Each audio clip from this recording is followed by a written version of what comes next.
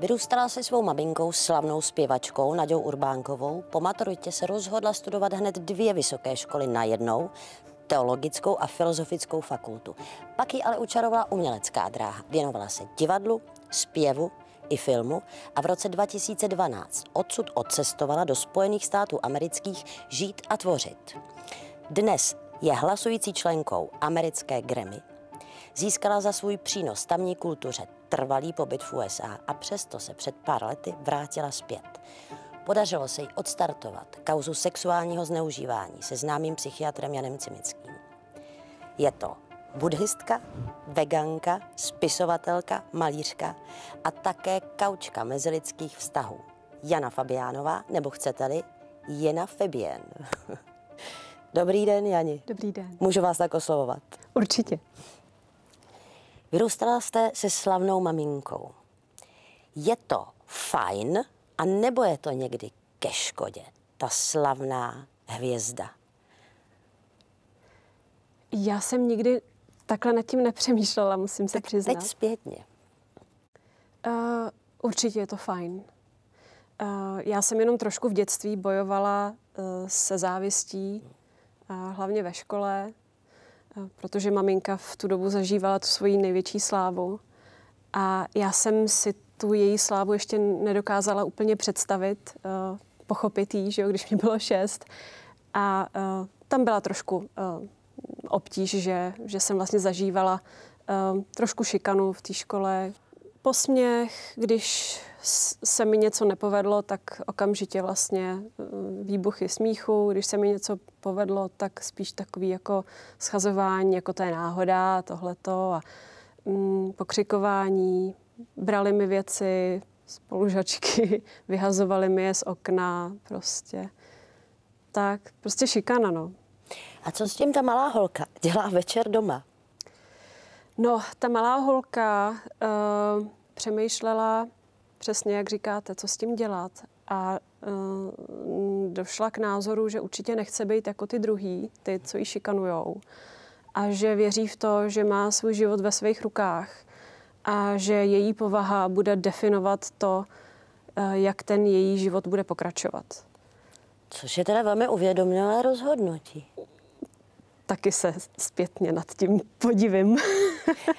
Přesto byly tam chvíle, kdy jste byla možná bezradná, kdy došlo na nějaké chmury a propady Určitě. a pláč třeba? Já jsem to teď možná řekla trošku zlehčeně, ale uh, já nevím, ta šestá, pátá, šestá, sedmá třída, to byla doba, kdy jsem chodila opravdu do školy nerada, kdy mě strachy bolelo břicho často ráno, eh, kdy jsem se bála eh, i uspět, i selhat, protože jsem byla pod drobnohledem, bylo to nepříjemné.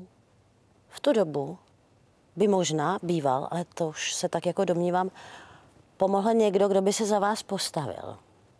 Byl někdo takový, a já teď třeba mířím i k otci. Tak určitě mě chyběla ta mužská figura, ta, ten charakter, prostě ta opora.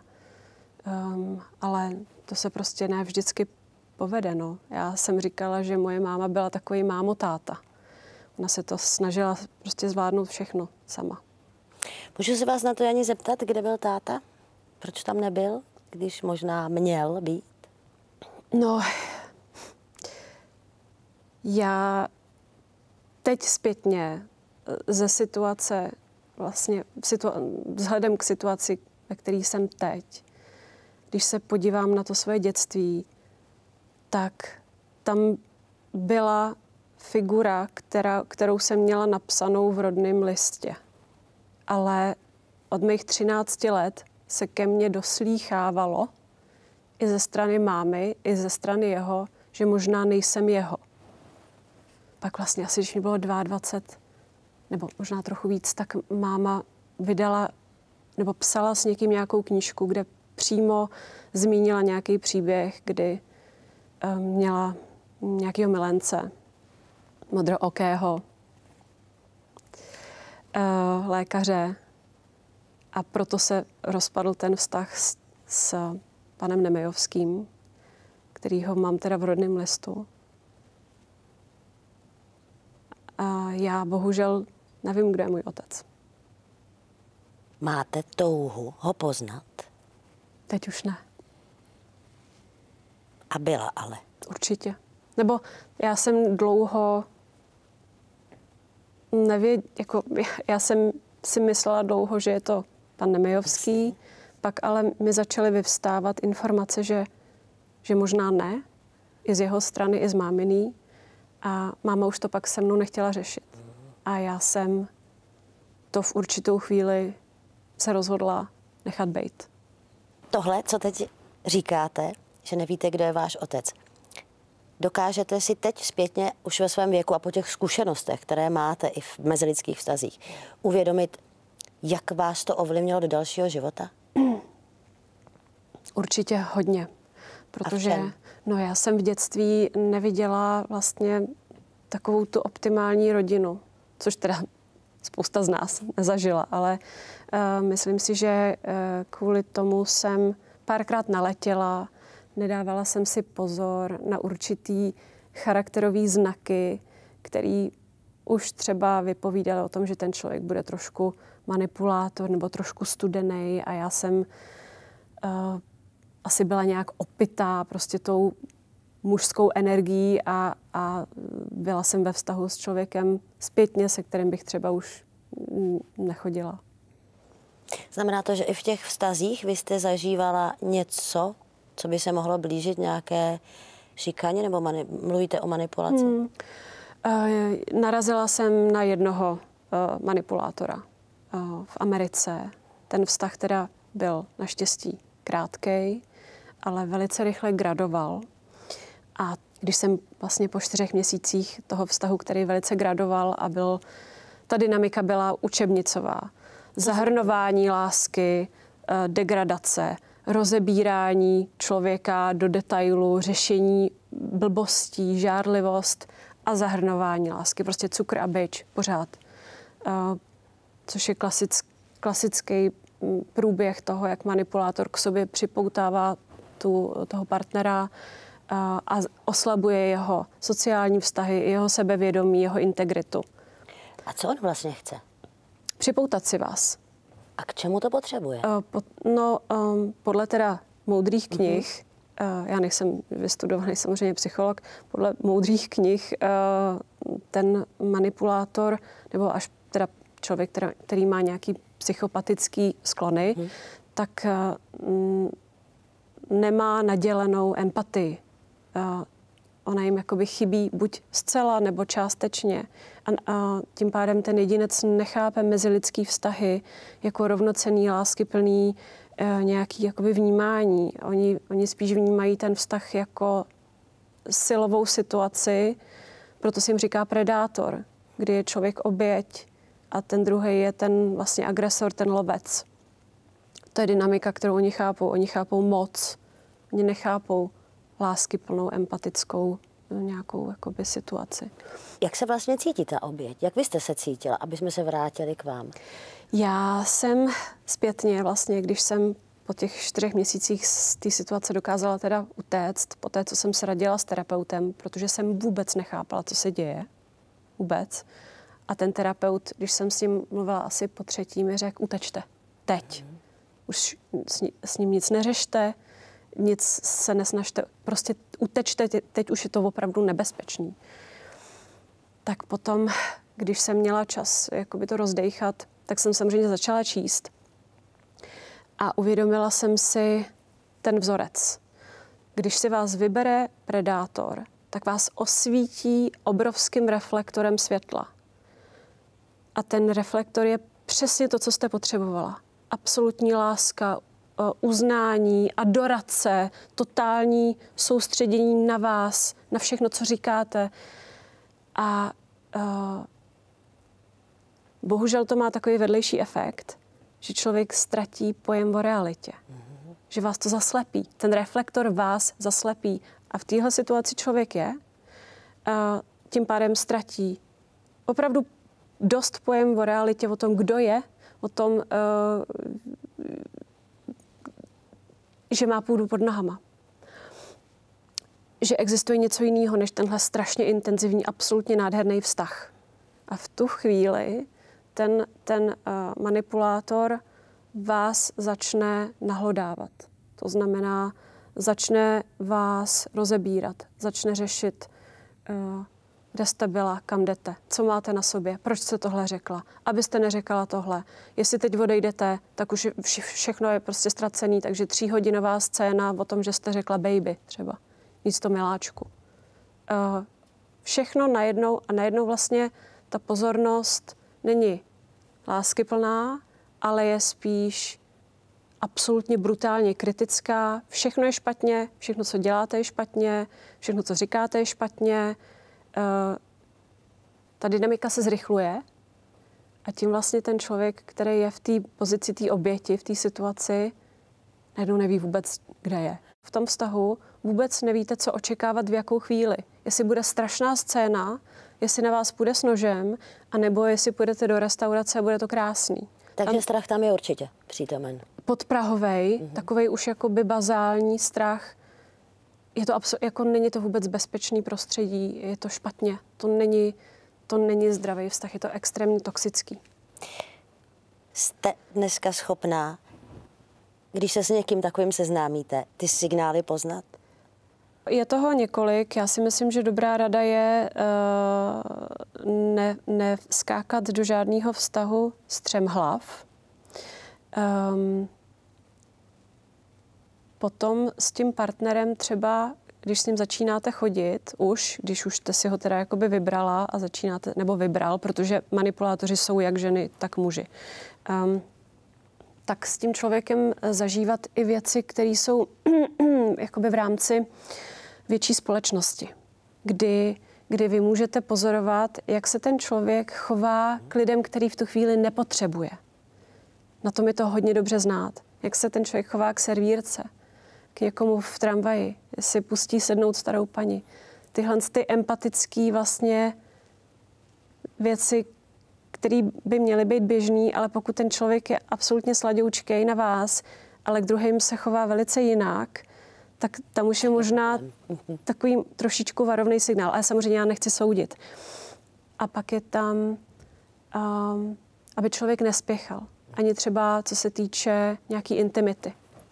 Protože manipulátoři mají tendenci hodně spěchat, protože ta intimita znamená, že vás vlastně jako by si zaháčkovali a ve chvíli, kdy uh, vy projevíte nějaký jakoby nesouhlas, ještě ne.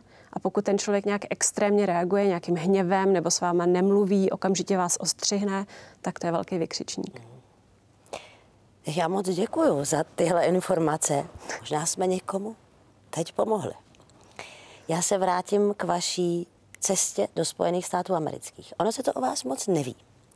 Samozřejmě víme vaše začátky tady, popová scéna, klubová scéna, vaše desky, um, vaše láska k muzice. A do Ameriky jste odjížděla proč?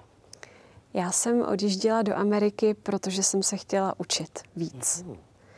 Já jsem vlastně, to byl rok 2011-12, jak jste říkala, a uh, já jsem tady dělala spoustu krásných divadel. Byla jsem sedm let v Semaforu, v Kalichu, v Národním v Praze, v Národním v Ostravě a spoustu dalších. A, ale uh, vlastně maminka moje, to s tím hodně souvisí. Uh, moje maminka se vyléčila z rakoviny, překonala ji v těch 72 a já jsem v tu chvíli si uvědomila, že pokud teda chci do té Ameriky odjet, ještě si něco naučit, tak to je ten moment. Vy jste si, nevím jestli přímo před tou cestou, jestli to s tím souvisí, ale to mi odpovíte, změnila jméno. Vaše civilní jméno je jiné. Mm-hmm. Linda Nemejovská. Hmm. A ta změna jména souvisela s cestou do Ameriky anebo s něčím? Povídejte. No, ta, ta změna nastala už, když mi bylo 18. Hmm. A uh, změna nastala proto, že um, já jsem vlastně v těch 18 začala vážně teda řešit, že, že se budu věnovat muzice a tady divadlu. V Čechách ještě. Tady v Čechách. A radila jsem se s mámou a prostě to jméno, který jsem měla, nebylo znělý. Takže jsem se rozhodla změnit si vlastně celý jméno. A je to teda legálně, oficiálně, mám novou občanku, rodný list od té doby. Jana Fabiánová alias jenom Fabienne. Odcestovala jste do Ameriky. To není úplně jednoduchá věc uspět v Americe. Ten první vstup na americkou půdu a ty začátky byly krušný? Mm. Nebo jste jela někam, kde bylo něco připraveného mm. předem? Tak člověk uh, vlastně uh, z naší branže uh, do Ameriky nemůže vycestovat pracovně, aniž by měl umělecký pracovní výzum. To znamená, a k tomu, aby člověk to pracovní výzum umělecký dostal, už musí mít jak kontakty v USA, tak předdomluvenou práci, tak i nějaký zářezy prostě tady. Takže z nuly jsem tam nejela, úplně bez, bez kontaktu. No, um, Bylo to těžký? Určitě to bylo těžké, protože je to úplně jiný svět. Já jsem uh, jela do LA uh, a naivně jsem si myslela, že, se, uh, že to bude velice snadný pro mě se živit divadlem, jako tady. Jenomže on ten systém je úplně jiný. Tam se hraje jedna hra třeba tři měsíce. Nicméně, pokud jste zvládla tam hrát a procházet těmi castingy, tak jste dobrá. Tak, no jo. Tak jo. a zjistila jste to kdy, že dokážete uspět v Americe? To si myslím, že pro sebevědomí je jako velká věc. No, tak jedna věc je uspět, druhá věc je vlastně vůbec jakoby přežít. To LA je příjemný v tom, že všichni chtějí se někam posunout, takže si všichni navzájem pomáhají. Uh, a já jsem vlastně potom, to byla teda veliká čest, nejen, že jsem jezdila samozřejmě i vystoupení pro, pro český publikum, ale, ale zpívala jsem hodně i pro americký a vystupovala a byla jsem pozvaná vlastně na narozeninovou, uh, narozeninový gala večer senátora uh, demokrata Adama Šifa, uh, teď už je myslím kongresmen, kde jsem měla tu čest zpívat americkou státní hymnu. Vy jste se s takhle našlápnutou kariérou v Americe vrátila zpátky. Hmm. Tam musel být sakra důvod. Hlavní důvod maminka. Protože... A její zdravotní stav? No, už jí bylo 79. Hmm. A mně začalo být jasný, že tam nebudu moct prostě naplno zůstat. Takže jsme se domluvili s eh, mým partnerem, tehdy s Dýnem a odstěhovali jsme se sem. Ale na druhou stranu já vnímám to, že když je člověk uh, nějak jakoby zadra, zaháčkovaný uh, v té americké kultuře, tak už může bydlet třeba v Praze. Teď se vás na to musím ani zeptat. Vím, že o tom nemůžete mluvit dopodrobně, ale vy jste se vrátila do Čech, se maminkou teda, už, hmm. už víme, a šubho a tady kauza. Já si dovolím předeslat, že je-li to pravda, tak vás hodně popíchlo a namíchlo, že měl ta osoba měla dostat státní vyznamenání. I to, že jste za sebou měla život v Americe, který nějak vypadá a člověk se za nějakou svoji pravdu bije, mělo to na to vliv, že jste s tím šla ven? Absolutně. Protože nebýt ten pobyt v Americe za vámi, tak to možná neuděláte a odnesete si to do hrobu. Uh, souhlasím. Hmm. Mě Amerika dala uh, to, co teď tady přijde mi se v Čechách teprve probouzí, to, že člověk má mít svoji vlastní integritu a za tou si stát, že když je člověk empatický, takže má právo na to budovat si svoje hranice, že člověk jako jedinec má v téhle době moc opravdu měnit svět nějakým způsobem k lepšímu, že to nemusí nechat být, že když se vozvu já, tak tím budu chránit ty, který mohli přijít za mnou a tak dále a tak dále. Um, proč to nepřišlo dřív. Hmm. Pomiňme Ameriku a tu sebedůvěru, ale asi tam nějaká myšlenka mohla být už dřív. Člověk má tendenci se brzo svěřit. Mm-hmm. Což já jsem udělala vlastně hned po tom napadení. Uh, ale uh, byla jiná doba. A komu, jestli se mohu zeptat? Mamince. Mamince. Mm-hmm. Byla jiná doba uh, a já jsem si tehdy myslela, že by to šlo, ale tehdy nebyly sociální sítě, to znamená najít další oběti. Bylo strašně těžký. A pak tam byla veliká vlastně uh, z mé strany, já jsem vůči mý mámě měla vždycky absolutní respekt. Prostě já jsem se to ani nezlobila jako dítě. Jo. Když řekla máma ne, já jsem to neudělala. A ona mě tady v tuhle chvíli prosila, ať to neudělám ať s tím nejdu ven, protože věděla, že by tam bylo riziko, že by mě opravdu ten člověk mohl nějakým způsobem zničit i život. Ona vás to, chránila. Ona se mě snažila tehdy chránit. A já zpětně ještě, když to vrátím víc, to se předává. Tohle, tenhle tichý souhlas s tím zlem. Mojí mámu znásilnili táta, když jí bylo osm. A od té chvíle, když se podívám zpětně na její život, to, co prožila s těma chlapama, jí, jí to, jí ten dar toho říct ne a tady je moje hranice a jsem prostě, na tohle nemá nikdo právo a já mám právo se ozvat, to jí bylo sebráno, když jí bylo osm. A, pa, a pak se to mezigeneračně předává, že jo. A mě z toho vytrhla vlastně ta Amerika, která mě postavila na nohy. Tam jsou ženský vychovávaný jinak než u nás. Mimochodem, to, co se stalo mamince, vám maminka svěřila? Vám to řekla? Mm. Mm. A zase, maminka, když se jí to stalo, tak samozřejmě to byla malá holčička. Uh, svěřila se mamince svojí, svěřila se svým sestrám a nikdo to nechtěl slyšet. Protože to je to jsou generace a generace. Když jste to teď udělala a vaše maminka ještě žila, teď s tím byla ve schodě? Byla. Ale je to teda skoro tečka, jo, ale takhle neskončíme. Říkáte, že dneska stále fungujete v uměleckém světě, globálním světě. Tak jak žije Jana Fabien dneska? Já toho teď na tenhle rok chystám docela uh, dost. Uh, Za prvé, uh, ještě před pandemí vlastně jsem si z Ameriky přivezla nádherný nový jazz od současných dvou autorek, který jsou taky členky Grammy. Uh, jsou to krásné jazzové melodie, takový až jakoby evergreenový, ale všechny napsaný po roce 2000, překvapivě. Takže tohle je krásný repertoár, který mám. Uh, začínáme zkoušet uh, představení ve dvou s úžasným muzikantem, hercem, skladatelem, textařem Vaškem Tobrmanem, což bude taková fúze Broadwaye a takového připepřeného stand-upu. Uh-huh. Chcem vytvořit takový komediální duo. Takový ty, jako jsou v Čechách. Tady v Čechách. Ano, tady v Čechách. Um, no a uh, zahraničně uh, chystáme projekt s hudebním producentem a skladatelem filmové hudby, uh, který se jmenuje Guy, Guy Renardo. a je to teda holanděn, který žije v USA. Um, a řekli jsme si, že proč znova nevstoupit do vod elektroniky, když je to teď 20 let od vydání týmí nostalgie. Um, takže tohle je projekt vlastně taky, který chystám, na kterým pracujeme. No a co se týče těch dalších projektů, které jsou pro mě strašně důležitý, um, chtěla bych napsat knížku o mamince. Hmm. Uh, ale ne jakoby o jejím životě, ale uh, budu sbírat příběhy od jejich známých a kolegů a chtěla bych to vydat jako vzpomínkovou knihu.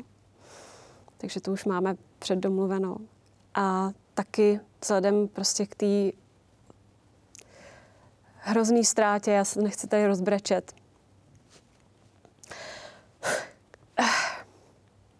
Pardon. Um, přijde mi, že um, máma by si zasloužila opravdu krásný, velký gala koncert. Protože ta její kariéra byla prostě úžasná, strašně dlouhá, úžasně bohatá. Takže, eh, takže teď pracuju, pracujeme s týmem na tom, že bychom chtěli udělat, eh, pozvat spoustu úžasných hostů a vzdát mamince hold. Taky proto, že když zemřela, tak eh, veřejnost mě zahltila opravdu soucitem, za, za což strašně děkuju. Tak jim to chci nějak vrátit. Tak teď jste dojala i mě. Pardon. Já vám strašně přeju, ať se to podaří. Ať se to, co dokážete a to, co umíte, vždycky setká s takovýmhle ohlasem. Držím palce na koncert a hodně štěstí na vaší cestě. A děkuji za tuhle zpověď. Děkuji vám moc krát. Děkuji. Mějte se krásně. Naschledanou.